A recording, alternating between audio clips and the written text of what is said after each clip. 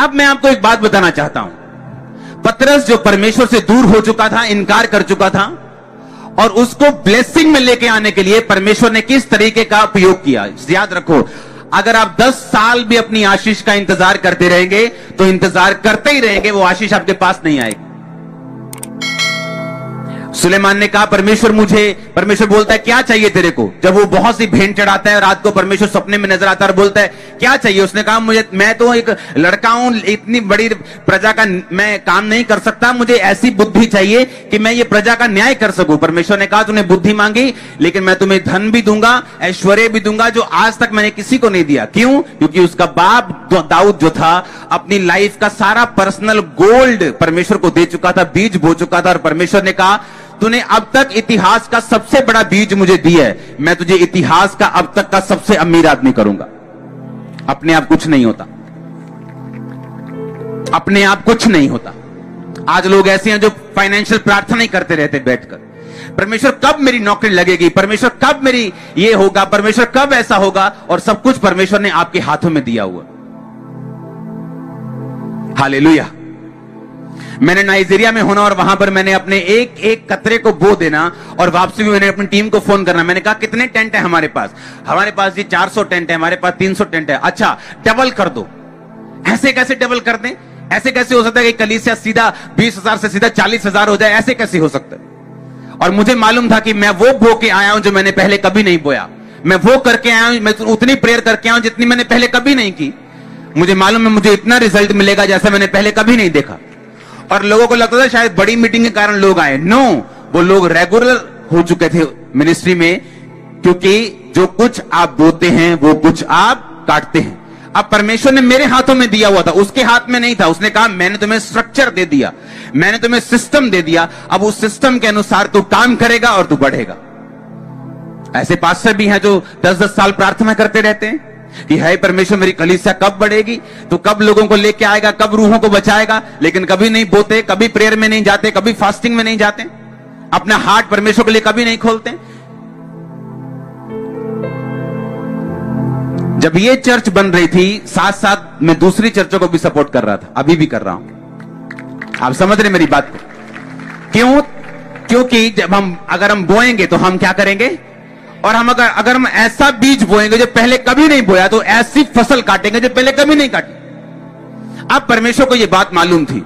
अब मैं आपको बताता हूँ कहाँ कहाँ पंजाबी कितने कुंडी फसी, कहते ना?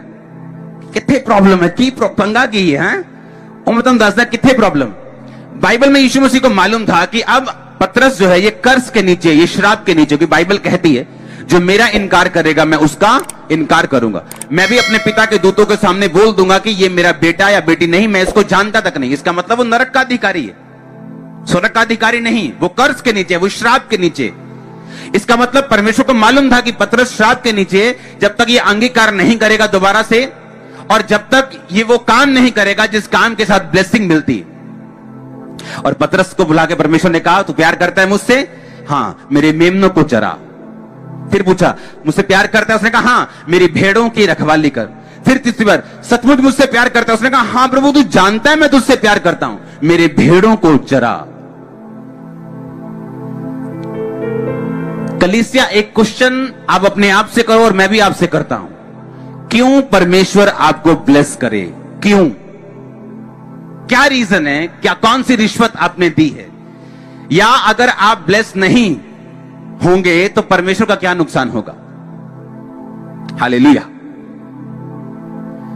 अपने पड़ोसी से पूछो, बोलो, परमेश्वर, अगर तुझे ब्लेस नहीं करे तो तू परमेश्वर का क्या नुकसान कर लेगा? अगर वो तुझे ब्लेस करें तो तू उसका क्या फ़ायदा कर लेगा? आप मेरी बात समझ रहे कि नहीं?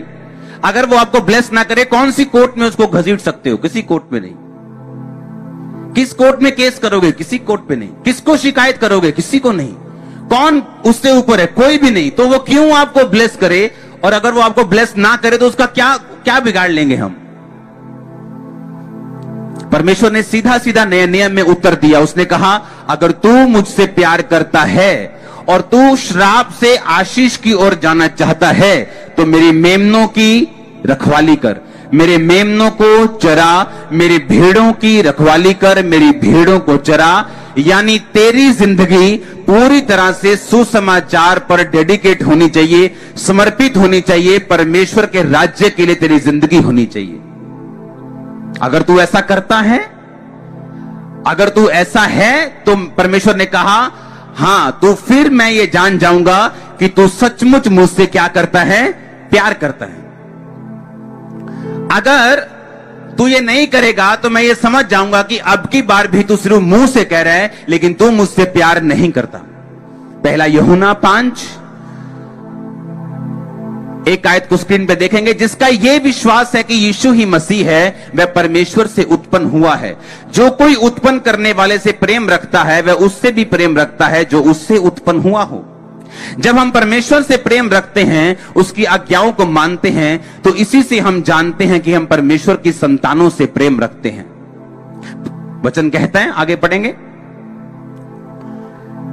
क्योंकि परमेश्वर से प्रेम रखना यह है कि हम उसकी आज्ञाओं को माने और उसकी आज्ञाएँ कठिन नहीं। हालेलुया।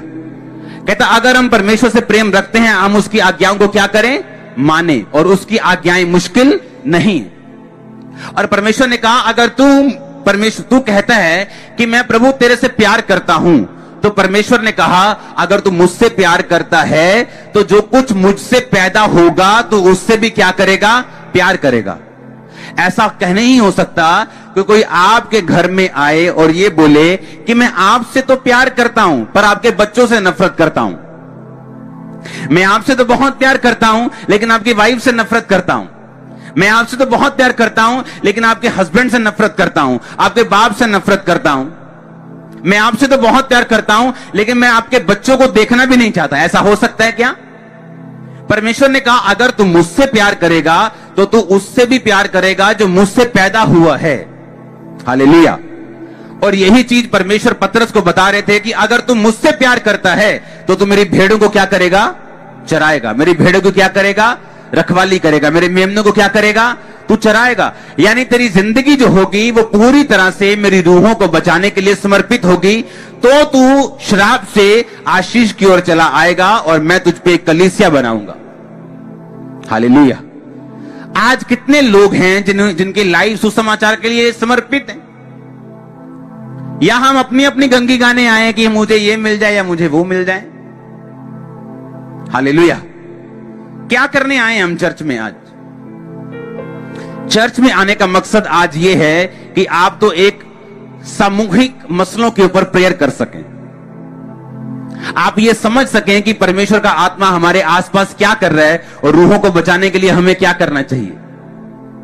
और जब ये सब चीज़ें आप करने लगते हो तो बाइबल कहती है, जब तू मेरे धर्म और राज्य का खोजी बन जाएगा तो जो तू मांग रहा है और जो तू चाहता है तेरे पीछे पड़कर तुझे मिल जाएगा।